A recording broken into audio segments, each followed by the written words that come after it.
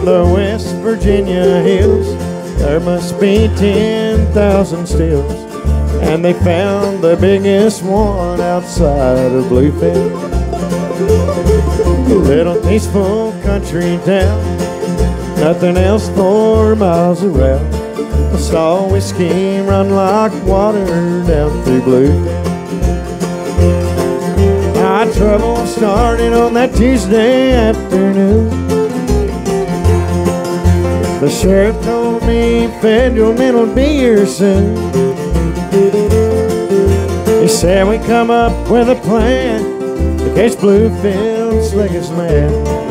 And we will as sure as I'm the sheriff of Blue.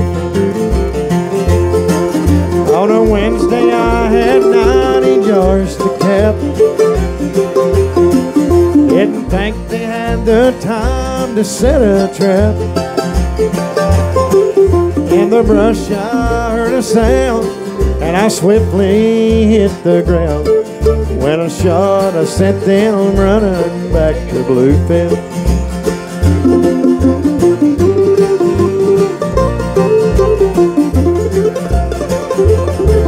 Not a soul suspecting me.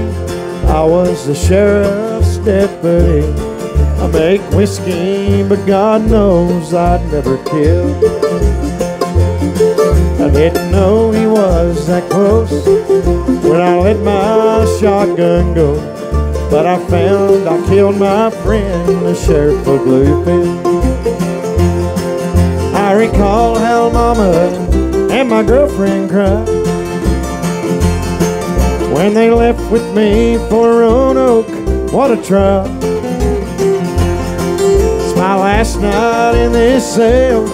The last story I will tell as I sat on death row dreaming about Bluefield.